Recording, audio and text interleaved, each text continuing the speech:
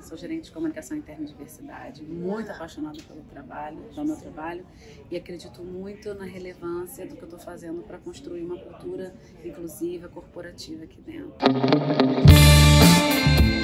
desde criança, assim, sempre fui muito interessada em conhecer pessoas, em conhecer histórias e achava que o melhor caminho de me relacionar com essa vontade, com esse sonho, era escrevendo. Encontrei na faculdade um ambiente majoritariamente branco, era apenas eu e outra pessoa, outra mulher negra, na turma de jornalismo da UF. Na faculdade, comecei a ter acesso a espaços que eu não tinha antes, eu vi que esses espaços eram ocupados pelas mesmas pessoas e eu não via.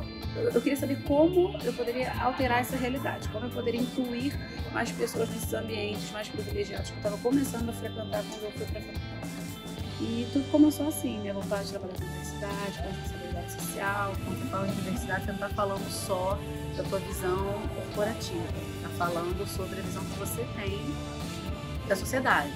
Então, como esse seu eu externo se relaciona aqui dentro com públicos minorizados? Você é justo? Você consegue refletir se você tem uma equipe justa? Então, como construir um que as pessoas vejam relevância em construir uma cultura de inclusão e que normatize e normalize essa convivência? Né? Eu, encontro uma mulher negra em cargo de liderança, eu quero que essa empresa tenha mais mulheres negras líderes. No mercado só existem 0,4 mulheres negras em cargos executivos. Então, sou uma privilegiada no Brasil, não só na empresa, sei do meu lugar, sei do meu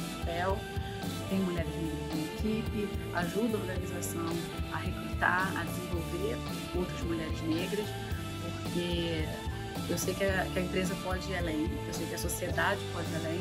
As mulheres negras é, são as que têm menos acesso à educação no Brasil, são as que ganham menos no Brasil.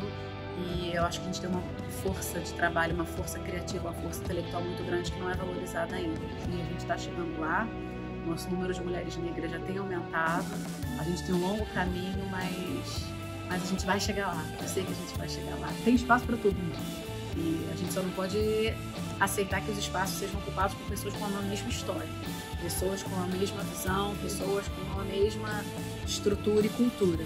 Eu acho que trabalhar com uma cultura inclusive é uma oportunidade única, nem todo mundo tem.